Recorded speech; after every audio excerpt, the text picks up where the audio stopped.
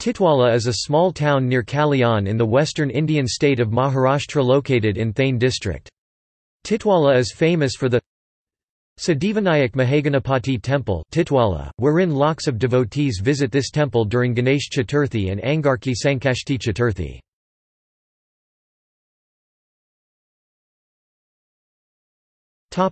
Geography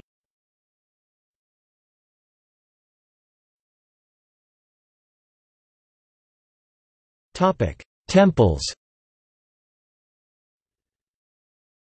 Siddhivinayak Mahaganapati Temple It is the site of a temple of Ganesha and purportedly the hermitage where Shakuntala was born. The Siddhivinayak Mahaganapati Temple is located at Titwala. The day of Angarki Sankashti Chaturthi, a holy day in the Hindu calendar, attracts large crowds. Titwala attracts visitors from the suburbs of Mumbai.